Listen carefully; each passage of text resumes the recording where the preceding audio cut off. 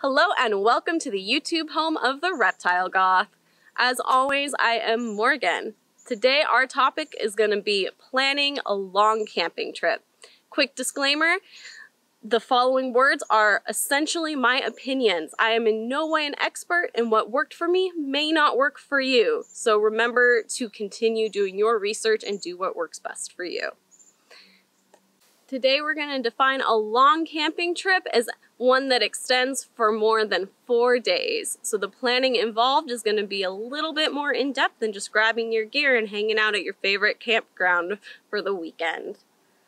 In order to construct an easy set of steps that anybody can follow and use as a base for their planning, I am going to use the process of planning my 10-day Yosemite trip from last year as the model.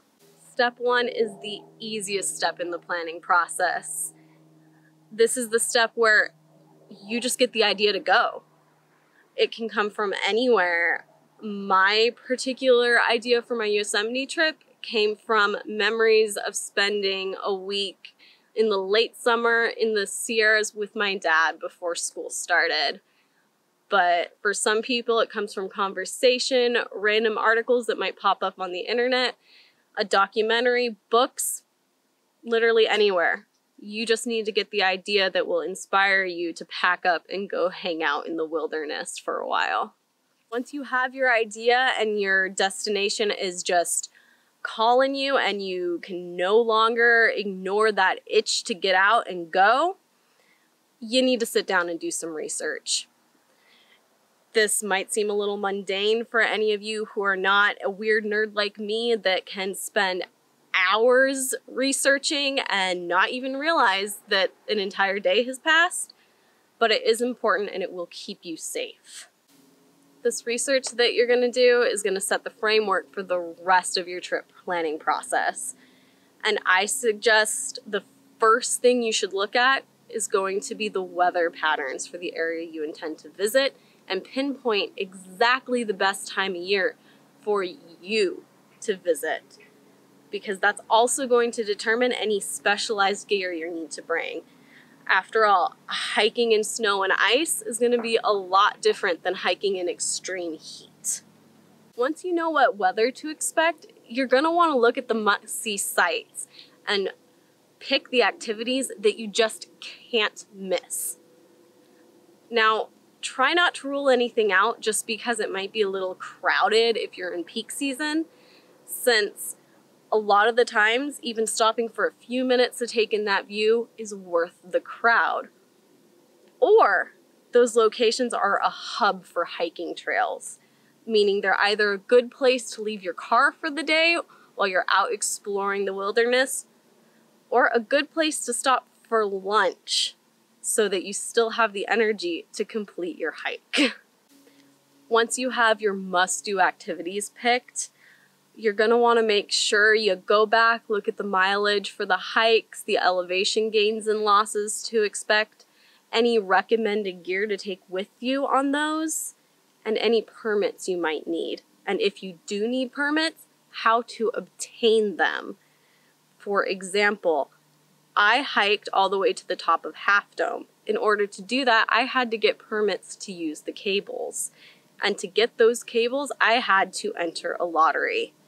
Now, a lot of permits don't require that, but you don't want to get stuck in a really long line at a ranger station or wilderness center. It's just not going to be fun and it's going to put your start time way back. Once you have your permits, once you know what you need on these hikes, you want to plan backups because Mother Nature's unpredictable and sometimes you just don't get to do the activities you have planned. My entire Yosemite trip had to be replanned on the fly because we couldn't access anything off the Tioga Road since the high Sierras still had a fairly deep snowpack for most of the time we were there. But we had backups, so it wasn't a big deal. We just changed our plans for the day. Once you have your activities and backups all listed out, make an itinerary. make sure you can fit everything you want to do in the time period that you have wherever you're going. This way, you know where you're going to be on each day and you have an emergency contact at home that will also know where you're going to be each day in case you miss a check in. So if a search and rescue team needs to be sent out, they know exactly which trail to hit first. And that will keep you safe in the long run in case the worst does happen. As your trip planning process is starting to come to its end, you want to make sure you know exactly which campground you're going to go to and how to make a reservation if that is needed.